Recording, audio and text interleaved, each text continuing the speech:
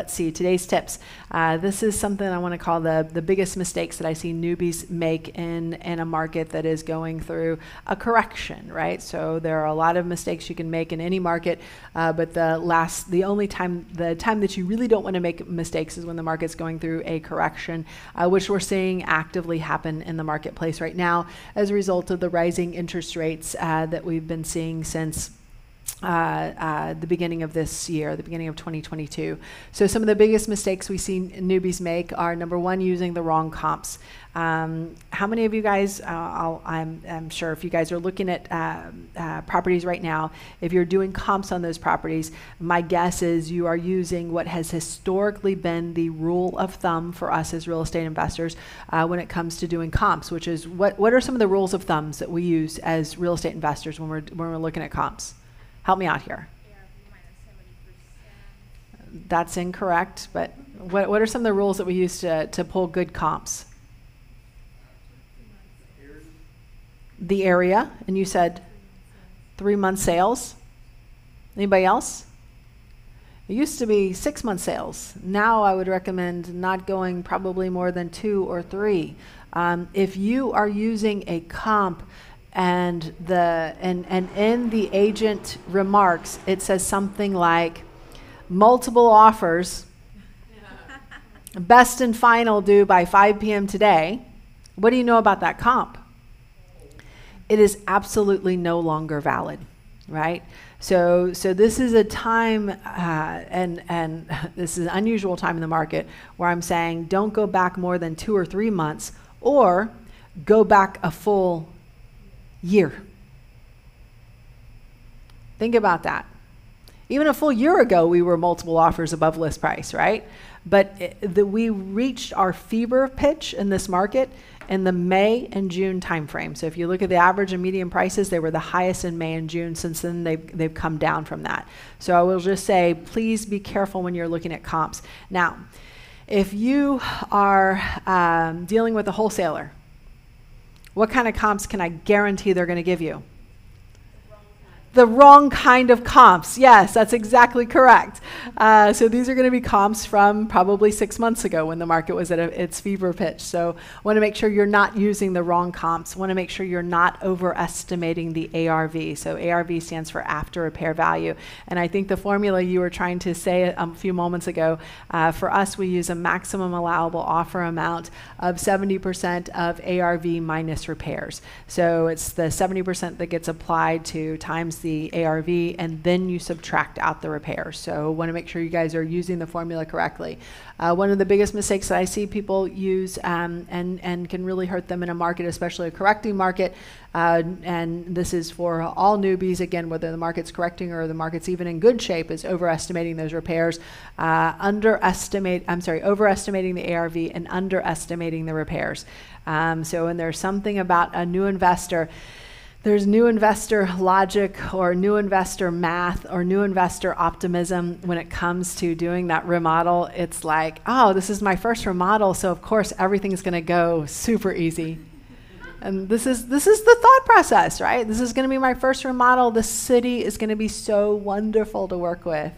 This is my first remodel. My contractor is just going to take care of me like a little baby in his arms you know, just to just make sure I'm safe and okay. And that contractor's not going to try and hurt me. They wouldn't hurt a little baby.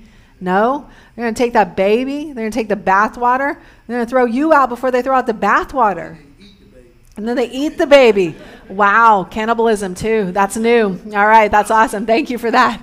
Uh, you you must know some great some great contractors there. Uh, so so and and then just overpaying in general. So uh, and this again, it can happen in every market, but it can really really really hurt you badly in a market that is correcting, which is the market that we're seeing right now. Uh, so some of the uh, biggest mistakes is not looking, not understanding or looking at uh, months of inventory. So most of you guys are familiar with this concept of days on market. Uh, most, uh, whether you're a new investor, whether you're an experienced investor, um, if you're just um, a regular retail buyer, the word uh, that's thrown thrown about often is this concept of days on market. So they'll tell you, well, the days on market for this neighborhood is, and they'll insert a number that is really, really low. So right now we're looking in the 30s, right? Um, but what they won't maybe tell you is something, another statistic that we use to measure the health of the market, which is called months of inventory. So, months of inventory basically says if we stopped listing properties today, uh, based on the current number of, uh, based on the uh, buyer demand that we've had over the last 12 months, right? So we take that buyer demand over the last 12 months, we divide that by 12 to be able to get the average number of houses that are selling every month, right? You guys follow that? And then we would look at the total number of active listings, and we take that total number of active listings and we divide that number by the average number of houses that are selling a month. So that gives you this concept of uh, this number for months of inventory. Um, a healthy market is months of inventory about, or our six months average is a months of inventory, about six months of inventory. Um, uh, um, in 2020, we were probably around two months of inventory. In 2021, in some markets, like the Austin market, it was about uh, 0.6 months of inventory. Uh, so incredibly low. And uh, what that means is the market is, I don't want to say healthy because people would say that might have been an unhealthy market. It was such a seller's market. So we were seeing multiple offers above list price and in some cases 20, 40, 50, 60 plus thousand dollars uh, above list price where these offers were coming in at. So um, right now we're at a what I was what I would call probably a pretty healthy market. So our months of inventory is still low. It's below that six months. But when you look at months of inventory, it can get a little tricky. So when the market's going down, remember I mentioned earlier, when the market's going down, it feels like you're you're in an elevator, right? When the market's going up, it feels like you're on an escalator. Kind of goes up a lot slower. So when the market's changing, months of inventory doesn't change as quickly because it's doing a 12 month look back. It'd be a little bit more effective if it did like a three to six month look back. The reason why it's typically a 12 month look back is because when you look at the distribution curve for sales, it's you want to take in the seasonality of the market in there, and that's why they do that 12 month look back. But when you look at uh, when the market's on the way down and it's taking the elevator down, you don't want to go back as far because the months of inventory number looks better than it is right now. And it's going to be the months of inventory number I'm going to show you based on how it's traditionally calculated. For you as a real estate investor, you need to be a little bit more savvy about this. Number one, understand the concept of months of inventory. So I'll give you an example of um, other markets where someone will, or, a market that's going down, someone has approached me and said, Shanoa, I've got a property under contract at 70% of ARV minus repairs, right? What does that mean to me? That means this is a good deal. This means I'm going to make money off of this deal. This means I'm probably going to make about 15 to 18% of my ARV, depending on uh, how I'm funding that particular deal in terms of my profit. Now, uh, the thing that they won't tell you, and they'll even, they may tell you, well, and the average days on market for this neighborhood is 60 days. 60 days sounds good, right? Going to have my property sold in 60 days. Well, days on market is fantastic for the lucky ones that actually do what? Sell, make it to the closing line, right? And then you have all of the also rans and the also rans don't always make it to the closing lines. In some cases, they expire, right, or get withdrawn off the market. So months of inventory really gives you more of an idea of what the competitive landscape looks like for you when you go out and put that property on the market. So there have been instances in prior market cycles where someone would bring me something that looked like a deal, uh, just using two of the metrics. Number one, the purchase price as a percentage of ARV minus repairs. Number two, the days on market. But when I did further research and looked at the months of inventory, in some cases there were 30 or more months of inventory. What does that mean? You're going on a long, you better pack a big bag you're going on a long trip. And that big bag that you pack and that trip that you're going to go on is going to be taking money out of your pocket every single month as you're sitting on the market. Because you might be holding that property for 30 months, which will basically wipe out all of the what? That'd be all the profit. That would be all the profit. And that's even if you can afford to hold on to it long enough, depending on how you finance that, uh, that transaction.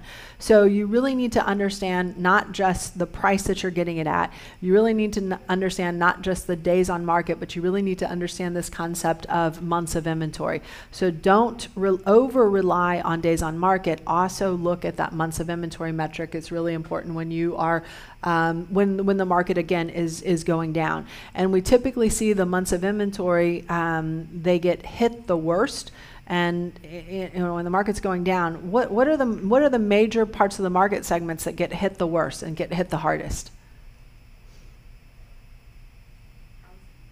Housing, yeah. which which which housing segment? Single family, okay. The high end. So if you look at the million dollar plus properties, that's where the months of inventory grow the fastest. And some of these high end properties might take you a year and a half to two years to build. So you're landing in a market that you you started that pro, pro, uh, project when the market was at its height. You're landing in a market when the market is not very healthy for a high end builder. So it hits the high end first and it hits the high end the worst. The second place that it hits the market is where? The outlying areas. So uh, uh, the, the last to rise, typically the first to fall. So where the, the inner city goes up first, so it's usually the last to fall. The outer parts of the market, right, are usually the last ones to go up. So this is when people start kind of fleeing out to that area. And many times, uh, those are also the first to fall. So just be aware of those market dynamics as you are um, as you are looking at your investment opportunities. And again, understanding the market cycle. So a typical market cycle is three to five years up, one to three years down right? So again, it goes up at a, at a slower rate and it goes down at a very fast rate. So you're trying to, you, you almost can't catch it, right? So you need to be in projects and in properties that you can be in and out of very quickly. Speed is key. Uh, and you have to have that capital to hold on. So, what if you do find yourself in a position where you are, uh, when you started and you were looking at a project and you're like, oh, this is only 30 days on market, that's the average, right? And then you didn't realize that there were another 30 properties that were competing for that 30 days on market, and you might be holding it for an extra long period of time. So, you have to have the capital to be able to hold on to it. You know, we're in a, this funny situation where a lot of people, because of inflation, they'll say that cash is trash. Some people have said cash is trash. But really, cash is absolutely key when you're holding on to properties, right? And you need to make sure that you are able to uh, service the debt on those properties. You also want to make sure you have to have a backup plan. So, the people in the last market cycle that did not have a backup plan, many of those ended up giving those properties back to the bank, giving those properties back to the lender, meaning foreclosure, short sale, um, uh, et cetera uh, well, not et cetera, those are really it, but not having a backup plan. So for me, what that backup plan looks like is if I have a property that I'm not going to sell, what am I going to now do to it? Do with it? I'm going to lease it, right? Because we're we experiencing probably the best leasing market that we've ever had, also, right? So as a, as people have said, uh, I can't afford the mortgage payments anymore. Now they're jumped into leasing, and now all of the lease, uh, um, all of the all the uh, landlords, they're finally able to raise those uh, monthly rents up, right? Uh, you also want to make sure that you have a backup capital plan, which m- might look like bridge financing. What is bridge financing? What does that mean? It's closing the gap. So if you thought you were going to sell it, and now it turns out you cannot sell it, you may want to rent it for a year or two and you need to be able to have that bridge financing to be able to do that. Bridge financing is typically about 18 months. And how long is a typical recession? It's less than two years. Typical recession is less than two years. So sometimes that bridge finance is that bridge financing going to be cheap?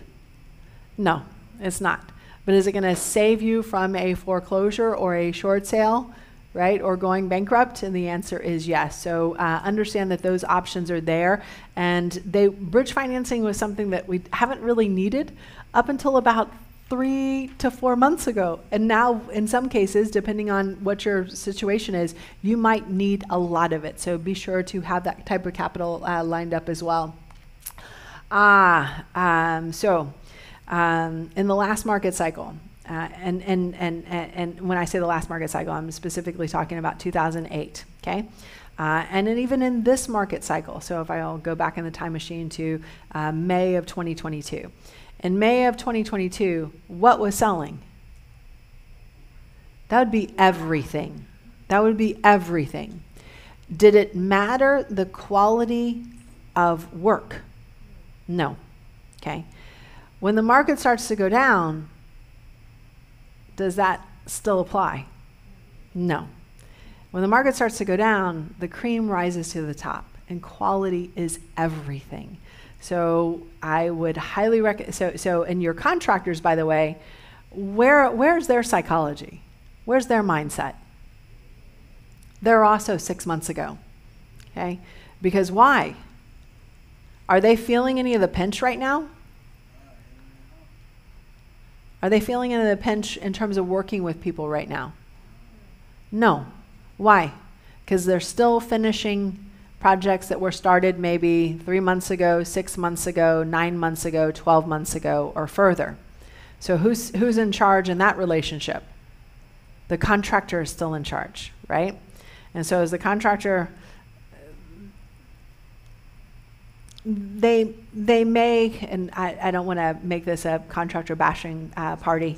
Uh, that's going to be later. Uh, but uh, but uh, but but uh, again, sometimes you'll see those situations where the the shoddy work that was acceptable maybe six months ago is no longer acceptable today. So make sure that the work that you're the product that you're putting out is a top-notch product. and if you take too long to complete your project, uh, who are you go- giving your profits to? You're giving it to the bank, you're giving it to the county in terms of property taxes, right? You're giving it to insurance, you're giving it to utilities. Uh, basically, it's going everywhere but to you.